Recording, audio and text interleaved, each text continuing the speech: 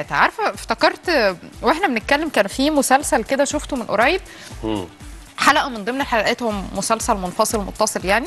آه بيتكلموا على فكرة ال online dating فكرة إنه مثلا آه لو في application هم حاجة عملوها كده؟ Black Mirror بالظبط. برافو عليك. لازم تشوفوا المسلسل ده by the way ده حقيقي. بجد.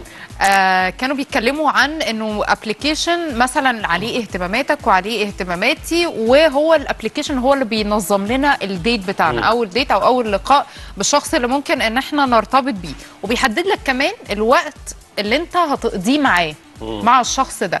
وما عندكش إمكانية إن أنت تسيب الموضوع. يعني لازم تلتزم بالوقت اللي هو محدد ليك لازم تلتزم بكل حاجة الابلكيشن عليها. وبعد كده لو ما كانش ده شريك حياتك فبيكون ليك ديت مع شخص تاني. فأعتقد إنه نفس الفكرة وممكن فعلا يبقى في المستقبل الجواز بالطريقة دي. بدل فكرة الخطبة يبقى فيه ال- الاونلاين أو آه حتى بس الحلقة بتاعت Black Mirror دي. ضايقتني. أنا فاكراها ضايقتني وأنا كمان فاكراها.